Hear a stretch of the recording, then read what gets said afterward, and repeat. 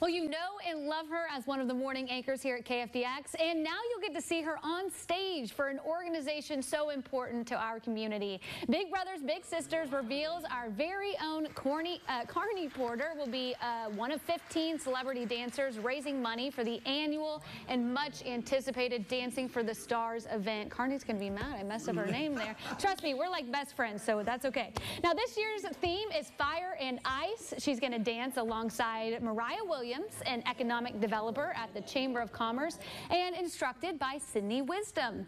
BBBS Executive Director Jean Hall says they have celebrities from all over the community dancing, and there is an important reason for that, too. We look for people who are leaders across the community. We're trying to pull in all the different circles, um, make sure that we have a lot of representation so that we can get not just get the word out about our mission as widely as possible, but also give as many people as we can an opportunity to support the mission and join in the fundraising.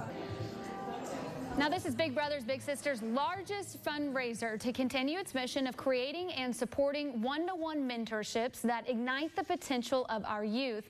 We here at KFDX and Texoma's Fox are proud to be supporters of this event each year.